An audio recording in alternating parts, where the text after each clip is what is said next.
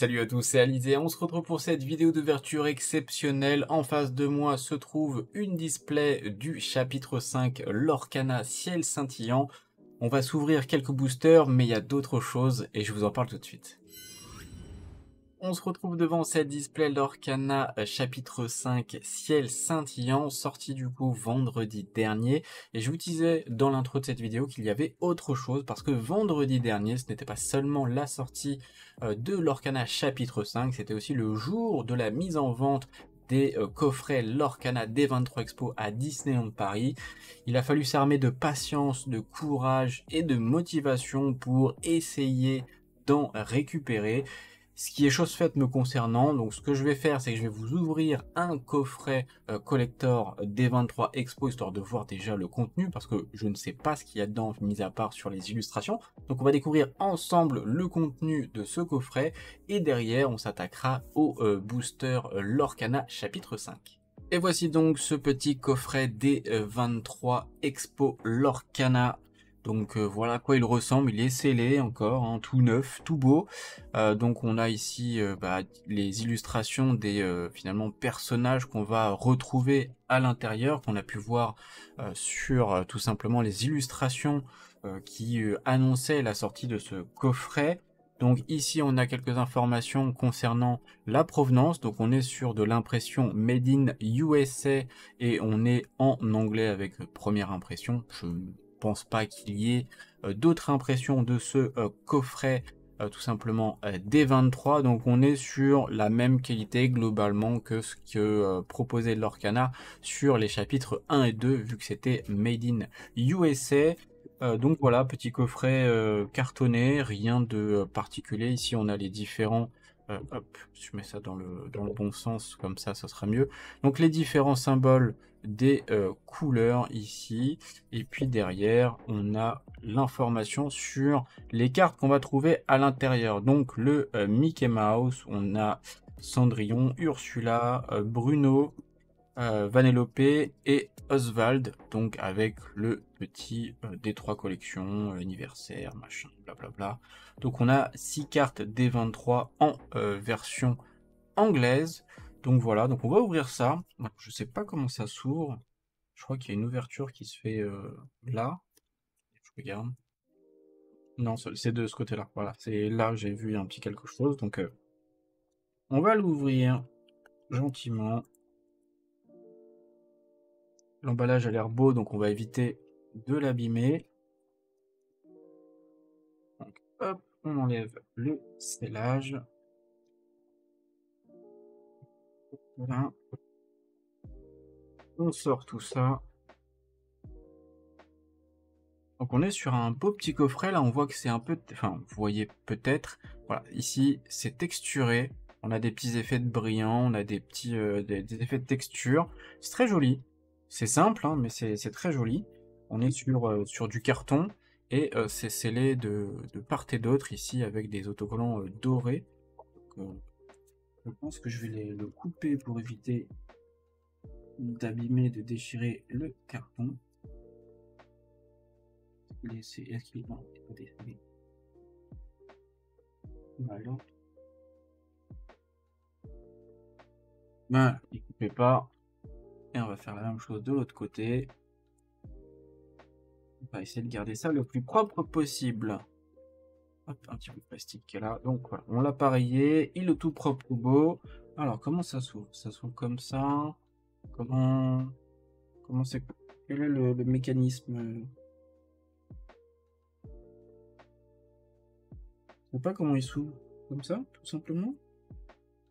Ça se glisse, peut-être, au côté? Euh, Je sais pas. Bon. En train de voir, c'est... Ah Ok, il est doublement scellé, il ne peut pas glisser parce que du coup il a encore ça ici. Voilà. Et voilà. Donc ça se glisse à première vue. Et donc on va découvrir le contenu. Comme ceci. Bah alors. Oh celui-là. Non, ça glisse pas. Alors, c'est quoi cette arnaque? Ah, si Eh ben, dis donc, fallait être motivé. Ah vache, ça touche bien. Ah. Voilà. Donc, on a le contenu ici, très joli, avec cet encadrement doré. Et on a donc 1, 2, 3, 4, 5, 6. On a bien les 6 cartes. Alors, comment on les récupère? Tout enlève d'un coup. Doucement, donc du carton standard classique. Ici, on enlève ça. Si on peut. Ah non, on peut pas. D'accord, c'est collé. Ok, c'est collé ici. Et donc on retourne. On a donc les cartes ici. On va pouvoir récupérer comme ceci. Et on va remettre ça là. Voilà. Et donc on a notre petit emballage. Alors, maintenant qu'on a sorti tout ça, on va regarder un peu plus en détail les cartes. On va commencer donc 5, 5, 4, 3, 2, 1. Alors, voilà. On va commencer par ce magnifique petit Mickey qu'on connaît tous, qui est un peu l'emblème de, de l'Orcana, hein, parce que voilà, c'était les premiers pins, euh, c'est Mickey, euh, donc forcément c'est Disney. Donc voilà, on a le petit euh, Mickey Mouse qui est sur... ouais, on, dirait un peu un effet enchanté full art avec les, les, les petits dessins qui débordent sur le texte et le petit symbole D23. Donc 01 D23 EN1 très joli avec un foil qui est quand même assez, euh, assez présent. on voit, hein, c'est euh, assez vif par rapport aux enchantés que j'ai connus moi. Ensuite, on a la petite Cendrillon, version acier. Donc là, pareil, avec les petits effets sympathiques ici, les petits cailloux qui rentrent sur le, sur le texte. 02 D23 EN2 une deuxième impression, EN, ou comment ça se passe? Comment ils l'ont noté EN2 Très bizarre. Ensuite, nous avons... D'accord, donc non, c'est pas... Les numéros ne sont pas euh, au niveau des impressions, mais au niveau de, je sais pas, du numéro de la carte potentiellement. La Ursula ici, très jolie, pareil, avec euh, des 23 euh, très très brillant toujours. Hein. On voit bien qu'il y a énormément de brillance, on dirait une licorne avec l'effet, le, reflet ici. C'est marrant. Donc voilà, très très joli. D23. Ensuite, on a le petit Bruno. Les petites souris, ici et ici. Plein qui sont là sur l'illustration. Voilà, le petit, euh, le petit Bruno. J'ai l'impression que même c'est... Euh, je touche, mais ça me fait un peu penser au, pattern un peu de, euh, de Pokémon euh, avec empreinte digitale. Euh, ça donne cette impression-là, mais c'est pas texturé en fait, c'est lisse. C'est plutôt lisse au niveau du, toucher, donc c'est juste l'effet reflet qui est, qui est comme ça. On a ensuite Vanellope du chapitre 5, donc une nouveauté. Donc chapitre 5, moi je suis pas spécialement spoil, mais voilà, on a une petite Vanellope euh, ici. 2-4 pour 4 d'encre ancrable Killer 2, qui a un alter de 2. Et euh, quand vous jouez ce personnage, quand vous jouez un autre euh, personnage princesse, tous les personnages adverses gagnent moins 1 d'attaque jusqu'au début de votre prochain tour. Ok. Donc un team princesse. Et derrière, on a le petit Oswald, donc du chapitre 6. Donc on a euh, connaît la première carte du premier chapitre. Très stylé cette euh, illustration. l'impression que c'est en 3D, il déchire euh, l'illustration. Donc une petite 2-1 pour 2 d'encre non ancrable qui leur 2. Durant votre tour, à chaque fois qu'une carte est mise en encre, vous pouvez révéler la carte dessus de votre deck. C'est une carte d'objet, vous pouvez jouer cet objet pour euh, rien, gratuitement. Euh, il entre en jeu engagé. Sinon, vous, euh, vous la mettez au-dessous de votre deck. Donc grosso modo, soit vous jouez un item gratuit, soit vous mettez la carte au-dessous de la bibliothèque. Ce qui est bien, c'est qu'on a beaucoup d'items, enfin en tout cas jusqu'à maintenant, euh, hors chapitre 5, du coup, d'objets qui permettent de piocher, même s'ils arrivent en jeu engagé, c'est pas un problème, l'effet d'arriver en jeu permet de piocher, donc pourquoi pas un petit Oswald dans ce genre de deck on Ice ou Pop Cycle. Donc voilà un petit peu le contenu de ce coffret D23, donc bien entendu je vais sliver tout ça et je vais ranger ça dans un classeur, quoique je pourrais même le laisser sur ce petit, petit présentoir. Peut-être essayer de le retravailler un petit peu pour le rendre un peu plus joli ou faire quelque chose de, de plus appréciable. Mais globalement, on a un début de quelque chose assez sympathique. Maintenant que nous avons découvert le contenu de ce coffret D23 Expo Lorcana, on va retourner sur le sujet initial de cette vidéo, c'est-à-dire le chapitre 5 Lorcana Ciel scintillant. On va donc s'ouvrir cette petite display, découvrir un petit peu bah, les illustrations des boosters et les premières cartes de ce chapitre 5 que je ne suis absolument pas spoilé, donc ça va être la découverte. Hein. On peut voir euh, là-dessus qu'on a première vue du Vaiana, euh, du euh, monde de Ralph, on a du Mickey.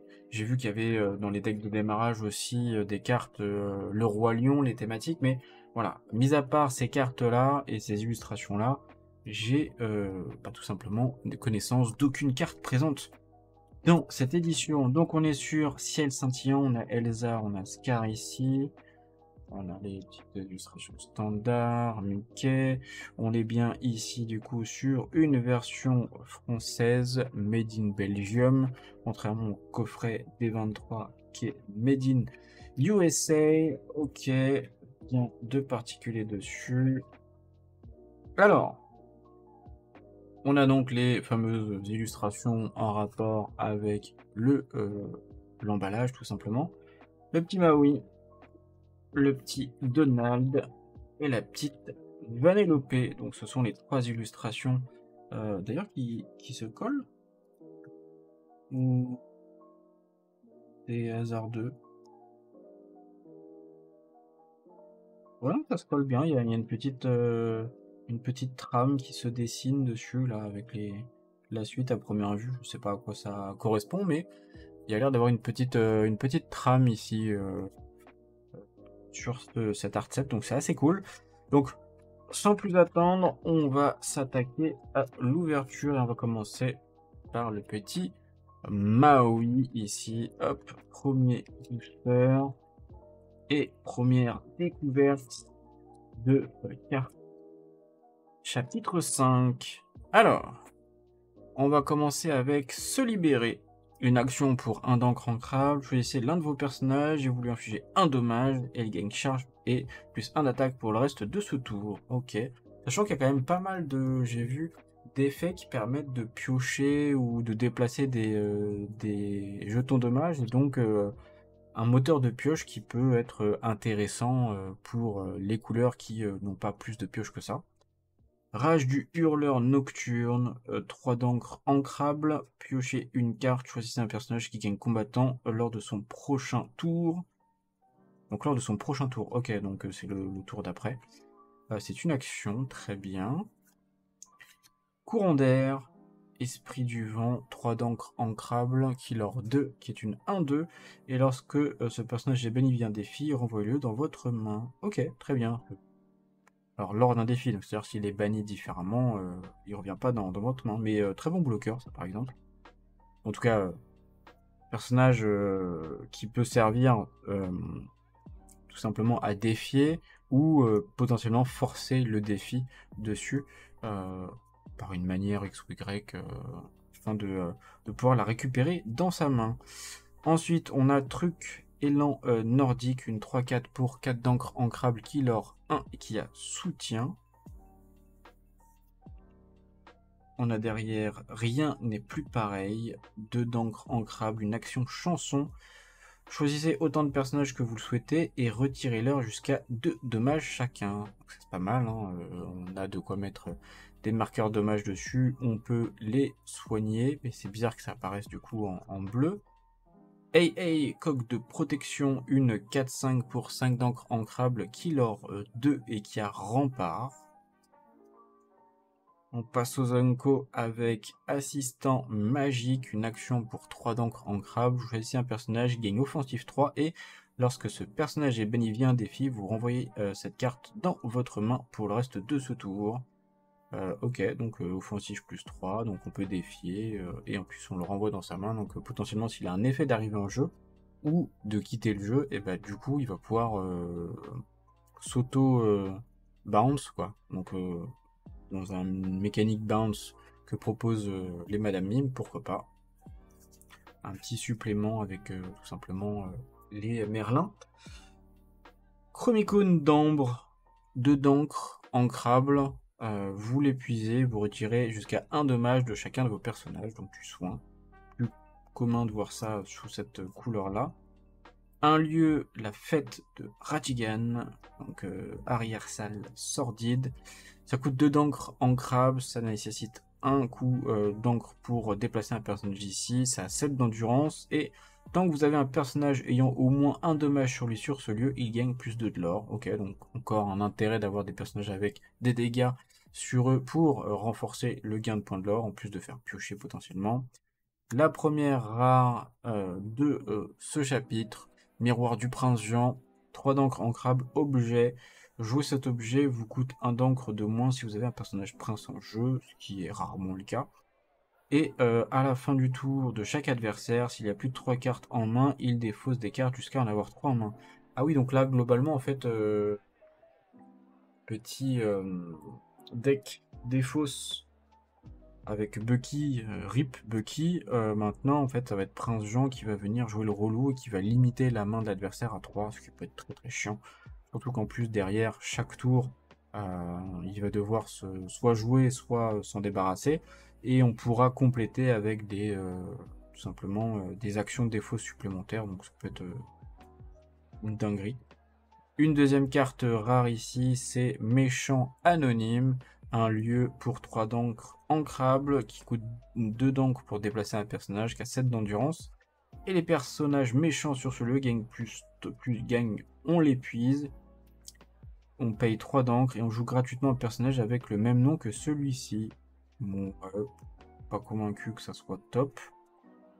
Et derrière, on a notre première carte euh, foil, du coup, Ludwig van Drake, une 4-4 pour 5 d'encre en crabe, leur 3.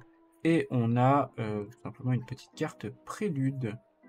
Donc, petite publicité, je suppose. Eh bien, avec euh, Elsa. Bon, et bah, euh, premier booster assez sympathique découverte plutôt cool. On passe au second booster, Mélopée. Alors, Mélopée, que nous proposes-tu? Ninogatine, 2-4 pour 3 d'encre non ancrable, leur 1 qui a charge, donc elle peut le défi le tour où elle est jouée, ok. Déduction sous hypnose, une action pour 2 d'encre ancrable. Vous piochez 3 cartes, puis choisissez 2 cartes de votre main et placez-les sur votre pioche dans l'ordre de votre choix. Ça permet de euh, finalement changer un petit peu, de dire bon voilà ces cartes là je vais pas pouvoir les jouer tout de suite, je vais les mettre sur le dessus et je vais euh, avoir autre chose en main qui pourrait être jouable et utile euh, sur l'instant présent. Archimède 2-2 pour 3 d'encre ancrable, Killer 2 qui a insaisissable. Derrière on a Muche élan euh, nordique qu'on a déjà eu tout à l'heure, 4-4 pour 4 qui leur 1. Un euh, prince Jean, 1-5 pour 3 d'encre ancrable qui leur 1. Et à chaque fois que vous jouez un objet, ce personnage gagne plus 2 d'attaque pour le reste de ce tour. Ou joyeux chevalier guillerait une 2-1 pour 1 d'encre ancrable qui leur 1. Et durant votre tour, ce personnage gagne insaisissable. Ok, pourquoi pas. Par contre, il a 1 d'endurance, c'est pas, pas ouf. Simba, très très joli petit euh, Simba, fils de Mufasa, 3-5 pour 6 d'encre, ancrable, la vache. Un coup d'alter de 4, ce qui est beaucoup mieux.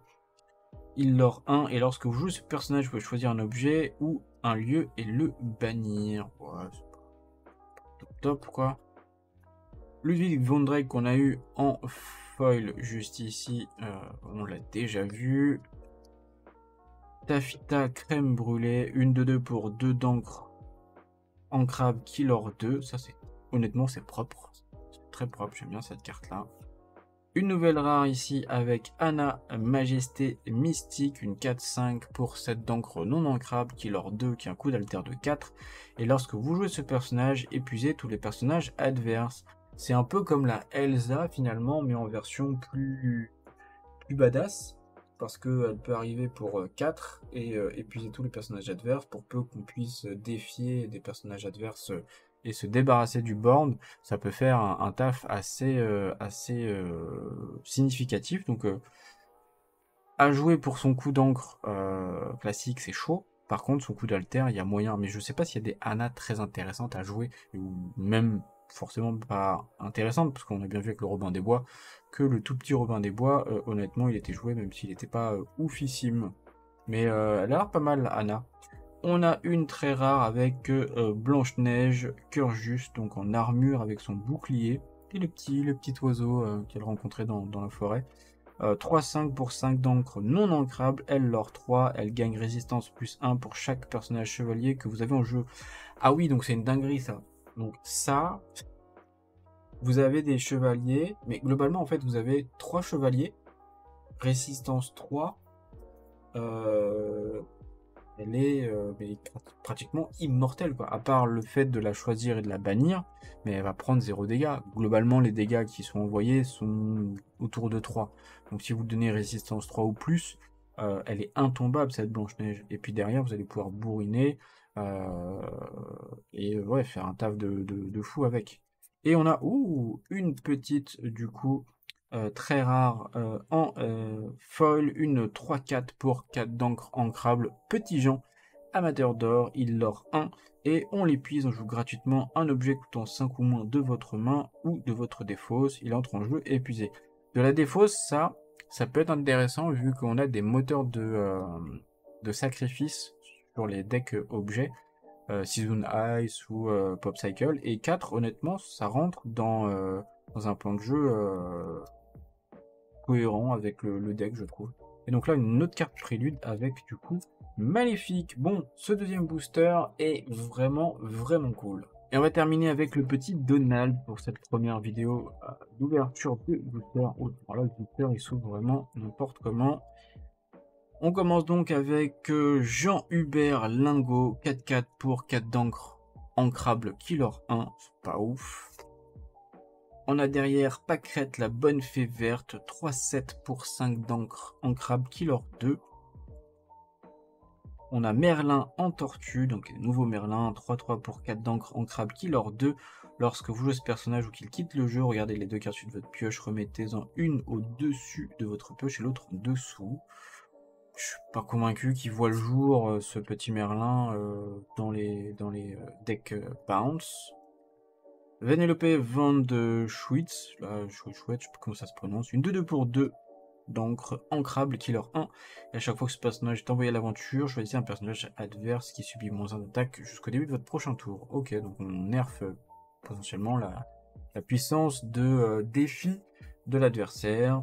Une mini inventrice à l'esprit vif, une 1-2 pour 1 d'encre non ancrable, killer 1. Et lorsque vous jouez ce personnage, c'est un personnage qui subit moins 2 d'attaque pour le reste de ce tour. Pas, dingue. Hachoum Ah, on a du coup les 7 nains tous en chevalier. Du coup, ça irait avec euh, Blanche-Neige euh, chevalier, pourquoi pas.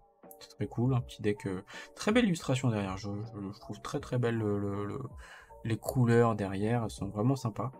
Euh, donc 3-4 euh, pour 4 d'encre ancrable, killer 1. Lorsque vous jouez ce personnage, choisissez un personnage chevalier, il gagne offensif plus 2 pour le de ce tour. Donc il y a peut-être euh, moyen de faire une team chevalier.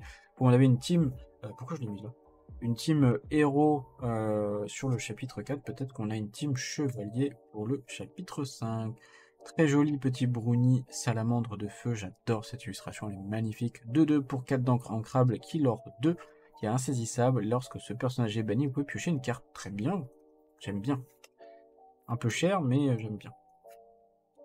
Tafitia crème brûlée, encore une fois. Une 3-3 pour 4 d'encre en crabe, qu'un coup d'alter de 2 killer 1. Et à chaque, une fois par tour, lorsque ce personnage est déplacé sur un lieu, gagner 2 éclats de l'or. Ok. Donc on le déplace chaque tour d'un lieu. Donc il faut avoir deux lieux potentiellement pour euh, la faire switcher euh, d'un lieu à un autre. Mais voilà, petit moteur de l'or passif, entre guillemets, sans partir à l'aventure, c'est plutôt cool. Par contre, ça coûte un peu cher. 4. Derrière, on a un Arthur Moustique 2-2 pour 2 d'encre ancrable Killer 2. Encore une carte entre guillemets agressive, simple, sans mécanique. Derrière, on a Prof en euh, Chevalier, une 1-3 pour 2 d'encre ancrable Killer 1. Et lorsque vous jouez ce personnage, vous vous défausser de votre main pour piocher deux cartes. L'intérêt, bien entendu, c'est de jouer Prof quand on n'a plus de carte en main ou une carte qui ne nous intéresse pas forcément. Auquel cas, eh ben, on n'a euh, pas à se défausser parce qu'on n'a pas de carte en main ou une seule qui est nulle et on peut. Euh, a de fortes chances de récupérer une carte beaucoup plus intéressante que euh, celle que nous avions en main. D'autant plus si on n'avions pas. Et encore une rare derrière, la reine à la tête du conseil, une 3-2 pour 4 d'encre non ancrable, la hors d'atteinte, elle lord 2, et lorsque vous jouez ce personnage, vous révélez les 3 cartes de pioche vous pouvez révéler et replacer dans votre main autant de cartes de personnages la reine que vous souhaitez. Remettez le reste de ces cartes sous votre pioche dans l'ordre de votre choix. Ouais, donc en fait, ça c'est un personnage qui tutorise. Euh, alors, c'est quoi? C'est les personnages La reine. Donc, c'est même pas un personnage de type reine, c'est un personnage la reine. Donc, en fait, globalement, l'idée c'est d'avoir euh, un deck reine, enfin un deck la reine potentiellement, je sais pas quel intérêt ça a, je vois pas trop. Après, j'ai pas toutes les cartes, euh, forcément, je me suis pas spoilé, mais ça me semble très bizarre comme carte. Hein. Et on a une petite Unco ici, Clarabelle, une 2-3 pour 3 d'encre ancrable Killer 1. Et lorsque vous jouez ce personnage, si un adversaire a plus de cartes en main que vous, vous pouvez piocher une carte, donc un petit moteur de pioche. Et là, on a un petit prélude Mickey. Et donc, je suppose que. Euh, ça dit exactement la même chose. Donc, ça parle du prélude. Euh, le petit coffret euh, qui transforme en. Si je dis pas de bêtises, en tout j'ai vu ça de loin. Mais Prélude, je crois, ça transforme l'Orcana en plutôt une sorte de jeu de plateau qu'un jeu de, cartes euh, pour justement vraiment pouvoir se projeter et visualiser le fonctionnement du, jeu, si je dis pas de, de bêtises. Bon, voilà, on a ouvert les trois premiers boosters du chapitre 5 en plus, bien entendu, du coffret de la D23. J'espère que cette vidéo vous a plu. Si c'est le cas, n'hésitez pas à laisser un pouce bleu en bas de celle-ci. Et n'hésitez pas non plus à vous abonner si vous appréciez le contenu que je vous propose. Moi sur ce, je vous laisse là. Je vous dis à la prochaine. Ciao, ciao tout le monde.